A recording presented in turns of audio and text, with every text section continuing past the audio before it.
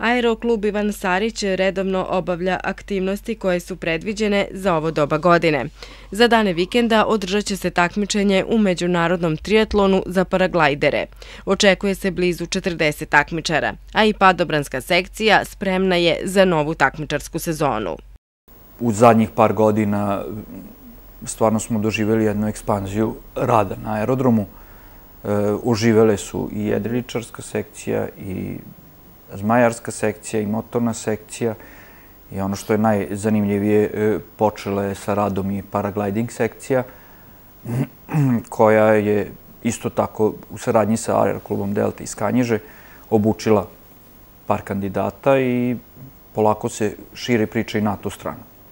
Što se tiče ovih ostalih sekcija, mogu da kažem da recimo u toku prošle godine motorna sekcija naletela a skoro 200 i nešto sati na avionu. Od toga 100, 100, 100 i nešto sati je bila obuka u pitanju, a ostalo je bilo u, u svrhu uglavnom padobranske sekcije.